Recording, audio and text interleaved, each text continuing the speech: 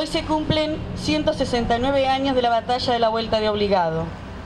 Haciendo un poquito de historia, diremos que a mediados de noviembre de 1845, una poderosa escuadra anglo-francesa de 11 buques avanzó río Paraná arriba hacia las fortificaciones que la Confederación Argentina tenía en la llamada Vuelta de Obligado, cerca de la actual ciudad bonaerense de San Pedro.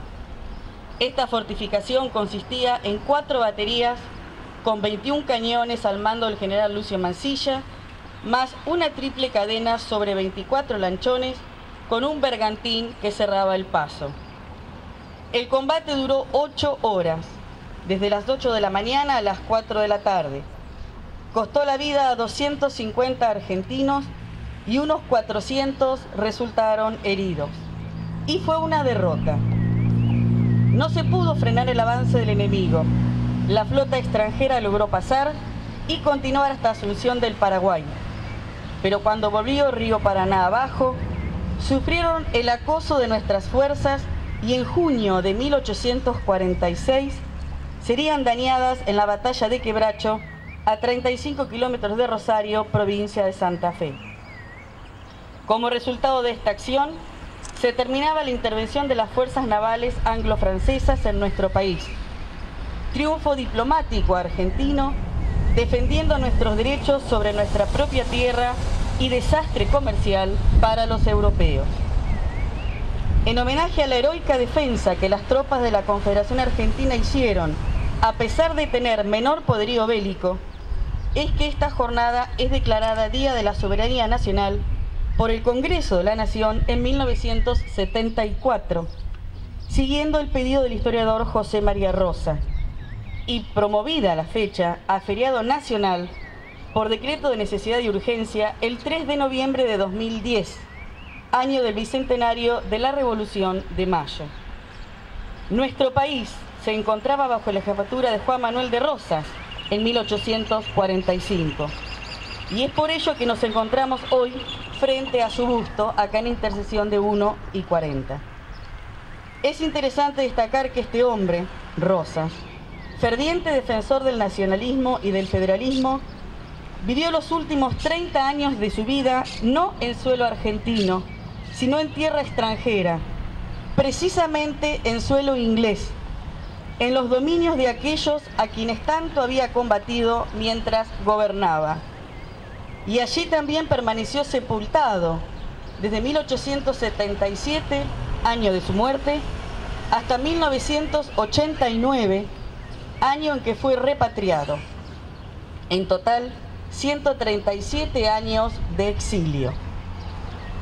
De modo tal que el pasado 30 de septiembre de este año se cumplieron 25 años del regreso de los restos de Rosas a su país, a su querida Confederación Argentina, y hoy descansan eternamente en el cementerio de la Recoleta de la ciudad de Buenos Aires. Deseo finalizar estas palabras recordando este importante momento tan caro para todos aquellos que formamos parte del Instituto Juan Manuel de Rosas como fue ese día de la repatriación de los restos de Rosas en el 89. Sus restos llegaron aquel día de septiembre en un avión de nuestra Fuerza Aérea a la ciudad santafesina de Rosario, siendo recibido por el entonces presidente Carlos Menem para ser trasladados enseguida a Buenos Aires en barco, ciudad en la que recibió magníficas expresiones populares. Todas las agrupaciones de gauchos y de criollos nucleados en los centros tradicionalistas concurrieron de todos los rincones del país y del hermano país de Uruguay. El pueblo reunido en las calles, desde el puerto de Buenos Aires, en sus avenidas, en la recorrida por la Plaza de Mayo y hasta su tumba definitiva, rindió el postrero homenaje a aquel que en vida fuera el restaurador de las leyes.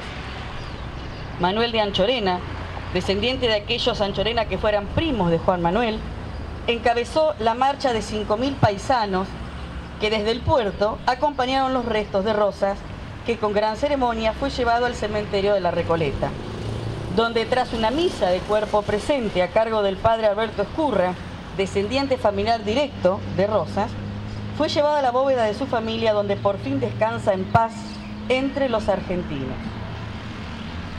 Quiero finalizar recordando algunos párrafos del discurso del presidente Menem en aquel 1989, por la vigencia que aún poseen en nuestra época y ya hace 25 años de esto. Entre otras cosas, el presidente Menem afirmó, por eso, al darle la bienvenida al brigadier general don Juan Manuel de Rosas, también estamos despidiendo a un país viejo, malgastado, anacrónico, absurdo. Le estamos diciendo adiós al país del fracaso, de los mitos, de las falsas ilusiones. Estamos proclamando que ya no hay más tiempo ni lugar para el país donde fue motivo de muerte y persecución el pensar distinto, el creer diferente, el imaginar nuestro porvenir desde otra idea, porque la historia tiene que ser una auténtica maestra de vida. Queremos inaugurar el tiempo de la gran síntesis entre todos los argentinos sin ningún tipo de exclusión.